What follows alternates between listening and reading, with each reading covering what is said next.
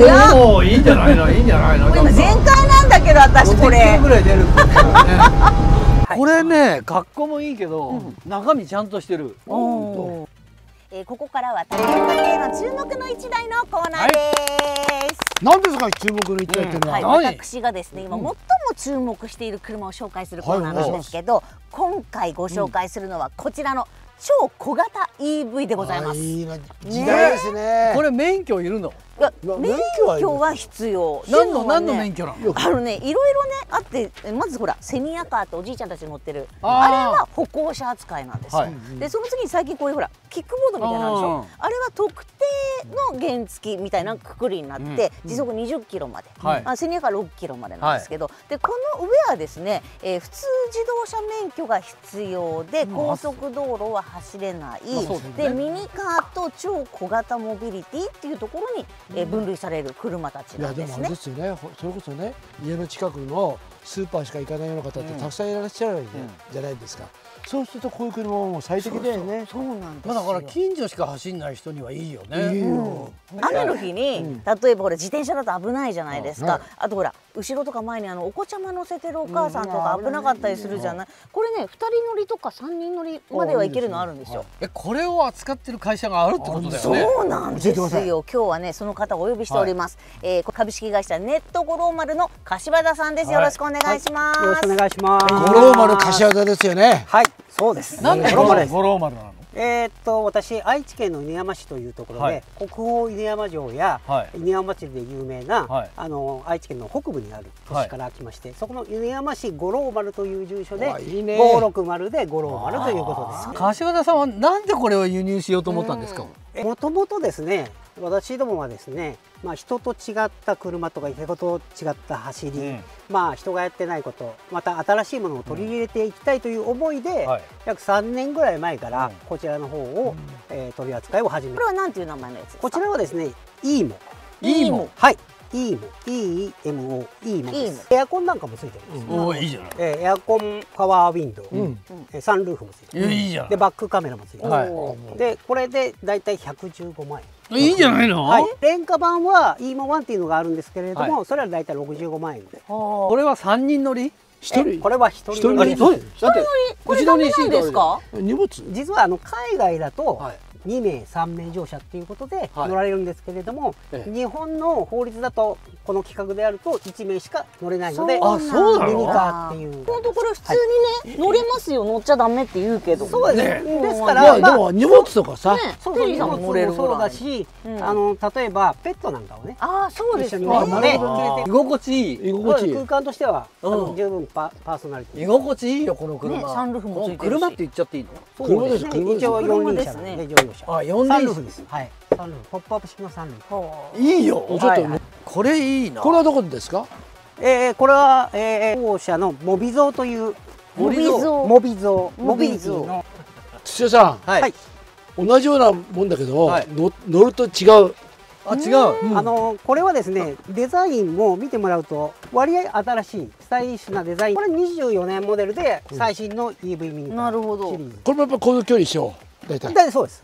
これでですね128万。100まあ大体一緒ですね、そうですねあこれちっちゃくて可愛いですね。なんて名前ですか？これはうちのオリジナルで、はい。ジープみたいな。五郎丸、うん。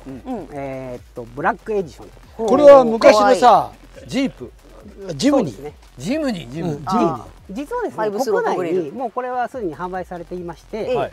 e アップルとか、はい。まあ、竹岡工芸さんとか、はい聞いたことあるとはい思いますけど。はいはいはいはいはいまあそういうとこであ販売している車を元にうちでカスタムした、あそうなんはい、ですね、EV ミニカーのカスタム車です。これはいくらそういうことか。あこれはですね、はい。一応うちの方のスペシャルな感じで塗装もブラックフレークのメタリック、はい。あとこういうあの旧車っぽいアルミあのあはいはいはい。でこうああとはですね UV カットフィルムなんかで、はい、まあ夏の太陽光なんかをちょっと、ええーこういうふうにしてあって、はい。ちょっとカスタムしてありますので一応お値段が148万円。あ高いんだね。あーはい。20万円高いその代わりこの中ではまあ割合性能的にはいいんじゃないかなっていう。一応幅が一番広いんですか、これ？だから少し安定してます、なるほどね、はい。全トレードが広いですね、そうだよね。はい。さあこれねデザインいいよね。これかわいい。一応 E 五郎丸のマミンということで。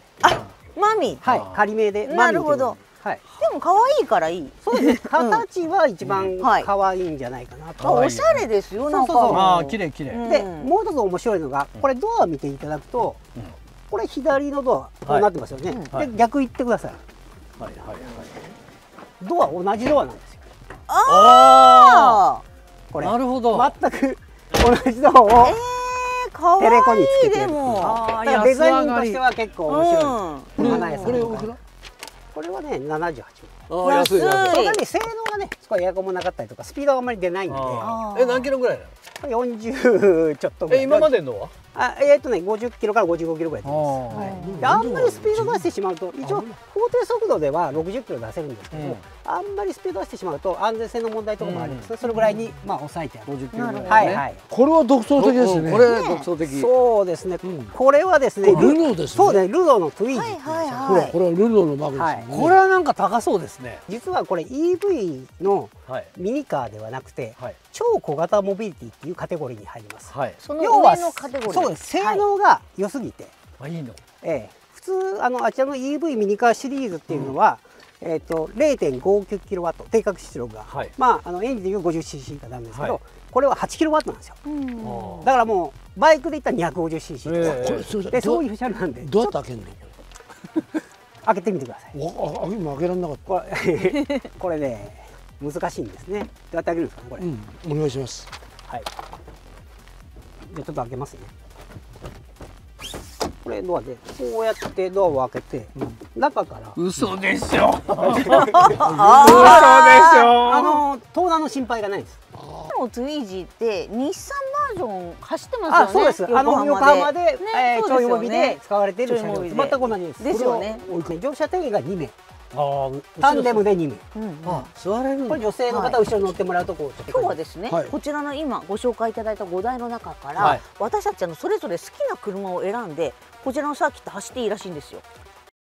改造車買取専門店。改造車買取本舗高価査定カスタムパーツ大歓迎お手軽スマホ査定なら最短5分改造車買取本舗で検索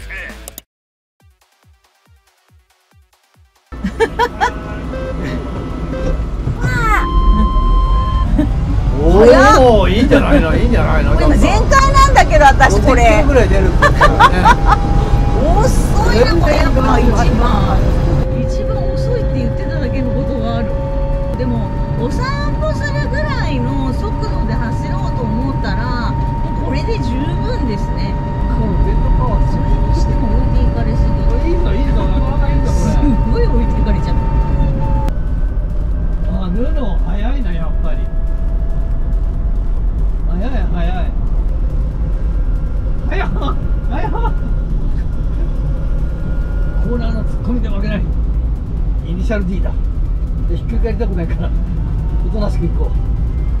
これね格好もいいけど、中身ちゃんとしてる。あの足もちゃんとしてるし割とポコポコポコしてるんだけど、だけど可愛いなっていう感じ。やっぱり一番ね。ゴルゴルマさんがおすすめだったやつでエアコン効く。おーいいな。あー140万だもんね。これ一番高いこれ148ねですこちらはね。はい。高い高い。なるほどなるほど。ね。ねまあレンコはもうちょっと安いこれね一番リーズナブルなんですけど、あれで全開です。ああそうなんだ。36キロしか出まあないだけどさ、うん。普通に買い物するんだったらそうそうそう。こういうの十分、ねあとエアコンだけつけてほしいなああそうね、うんうん。やっぱ俺みたいなこうイケてるおっさんはこういう方がいな。いるなほど。なるほどね。でもこれ可愛い。デザインは可愛い。あそうだね、ん。そうだね。普段だったらすごいいいですこれ。売ってる中でいいって言ったらやっぱこれはさ確かに。ちょっと今までって、いろんなメーカーの電気自動車乗ってきたけどエアコンの効きがいまいちね。あーこれ聞いたこれ聞いてこれほんとバカにしてたんだけどさ、うん。ちゃんとエアコン冷たい風が出てくるの、雨降っても濡れない。あそうそうそう。エアコンついてね。いいよね。だからそういう使い方をするんだったら、はい。こういう車で十分だよ。十分自転車乗るようりちの実家で買おうかな。いいよね。いやいいと思う。実家築地でしょ？うん。あと豊洲市系がねえからさ。いやすごいいいじゃもうん余裕ですよ。荷物いっぱい詰めるじゃない。ぴったりぴったり、ね。うんこれいいよ。いいですね、はい。ありがとうございます。でね柏田さん実はね、あのこの今5台見せていただきましたけど、もう1台見てほしい車があるって。何？はい。ね。あそこにありますよね。あれのこと？えあれのことですか？あれ？えマーク 2? そうですね。初代マークスコロナマークスちょっと行ってみましょうよ。はい。あちょっとエンジン見せてください。だからこのトヨタの 1600GT のね。そうですね。原型になるようなうん。これオリジナルの色ですか？これはグリーンはダークグリーン。そうですよね。オリジナルです。はい。はい。わあすごい。おおすげえ。そうなんですよはいすげえ。ちゃんとレストアしてるわ。1900cc です。トヨタ 2000GT の？そうそうですね。これヤマハヘッドって言われるうん。ヘッドの形でまあ2バルブそうだよね。8バブル8バルブですね4気筒なんで。えでも梶原さんこれ見てほしいから持ってきたとおっしゃってましたけどはい。これあのご自分の車を自慢するために持ってきたでいいですか？こう古い車が好きで、はいはい。まあ趣味でそういう車なんかを熱く20年ぐらい前からやってるんですよ。えお仕事でやってるの？はい仕事でこういうのもレストアしてるってことですか？まあレストアもやってますしこういうじゅじゅこういう古い車も販売もしてます。あそう。はい。こっちが先でそうですね。向こうが新しい事業なんですか？とにかく人がやってないことをやりたいなと思って。なるほど、はい、これ売るとしたらいくらぐらい？これはだいたい350万ぐらいですかぐらいですかね。あのまあ最近旧車なんかも大変高騰してますんで、えええ綺麗にレストアしてるえい。やこれ本当綺麗ですいやよね本当にエンジンルーム綺麗だもん。うん。いわゆるね GSS っていうグレードで、はい。まああのマーク2で言ったらスワラ V はいはいはい、うんで、えー、ハコスカで言ったら GTR うんはい。ベレットでも GTR おお、で GSS で通称実ササって言われてるはい。実ササエンジンかけます。はい。おおキャブだよ。調子調子が調子がそんなような